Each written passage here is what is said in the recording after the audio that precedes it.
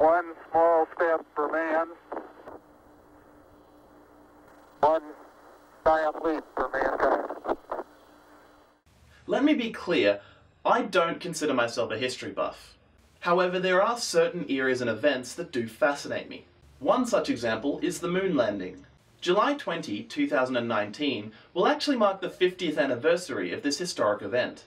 With such a significant milestone on the horizon, as well as the recent release of First Man, I thought this would be a good time to talk about one of my favourite Australian films, The Dish. I should probably note I'm not generally a big fan of Australian cinema. I find a lot of it either cringeworthy or depressing. However, this film is a notable exception. Based on true events, the film recounts the pivotal role played by the Parkes radio telescope, i.e. the titular dish, in the Apollo 11 mission, in particular the moon landing itself. Though the story is set in the Australian town of Parkes, much of the film was actually shot in the neighbouring town of Forbes, as it hadn't changed as much in the intervening 30 years, and therefore closer matched the required 60s aesthetic. However, all of the exterior shots of the dish itself were shot on location in Parkes, with the facility being closed for three weeks for filming. Having visited the dish myself, I can say it's an even more impressive sight than it appears on screen.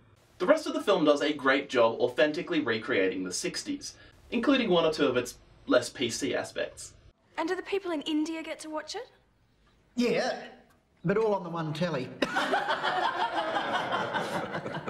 I'm serious. Far too serious, darling. This is very much a character driven film. A lot of the drama, comedy, and heart is derived from their various interactions and dynamics. The dialogue and performances are very natural throughout. Please don't call me Maisie in front of the ambassador. Huh? What do I care if some bigwig yank says that I love my wife? Now, Bob, the blue or the lemon? The yellow. Lemon!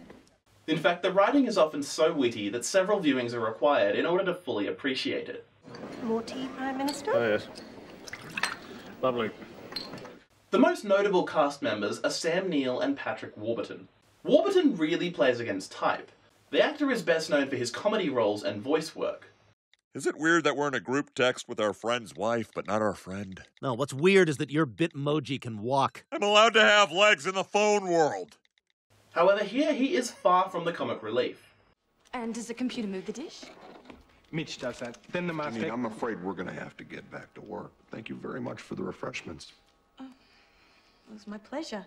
One thing I've always found odd is the fact that Bille Brown is credited simply as the Prime Minister, despite the name of said Prime Minister being readily available information. You know who was on the phone just then? No, sir. The President of the United States, Nixon. So they could mention Nixon by name, but not John Gorton? Why? The soundtrack consists of a number of era appropriate songs, which are used to great effect. The film opens with a montage of archival footage set to The Real Thing by Russell Morris. This not only establishes the historical setting, but also sets the tone of the film. We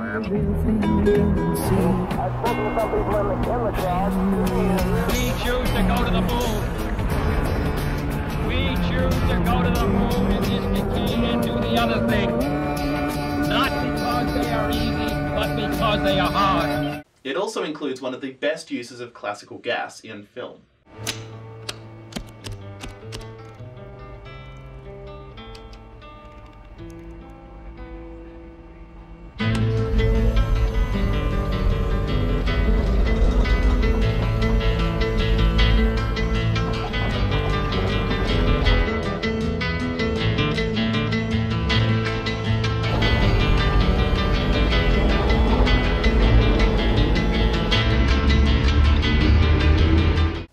Film is not a comedy. However, it is a very funny film. Imagine the Earth is basketball, This'll be good. and on top of the basketball is um. What's the thing you put the pump into? The hole. Yeah, but it's got got a name. Oh, the valve. Well, let's say the valve is Goldstone, and on the other side is another valve. Now, basketballs only have one valve. Oh, well, what's something that's got two valves? Tuba, No, it's got to be round. tambourine, But that doesn't have valves. coconut. Which is exactly what you'd expect from the filmmakers behind The Castle.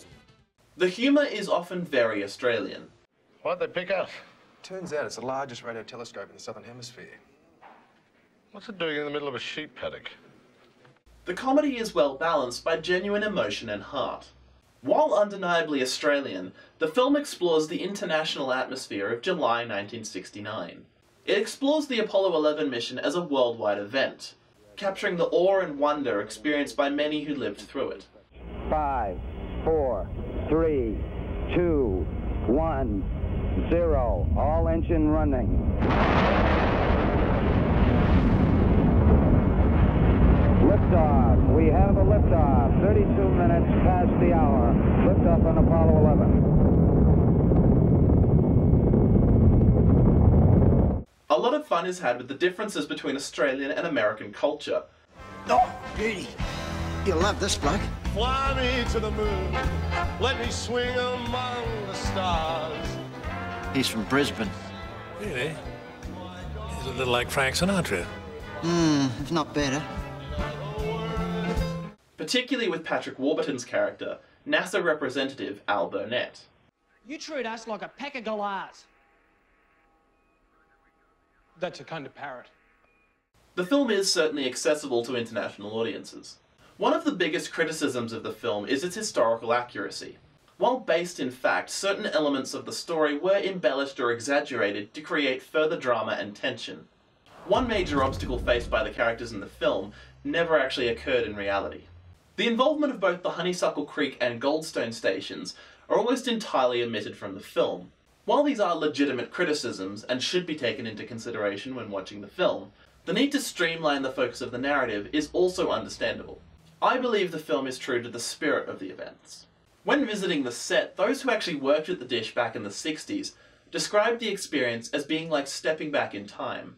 Despite its inaccuracies, this film did make me aware of my home country's involvement in one of the most significant ventures of the 20th century. It will be one of the proudest moments in Australia's scientific history.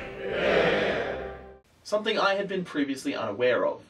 Furthermore, it encouraged me to look into the actual events myself. It presents an incredible piece of human history from a unique, and for many, new perspective. If you have seen this Aussie gem, I'd love to hear your thoughts in the comments. If you actually lived through the moon landing itself, I'd love to hear your memories of that time.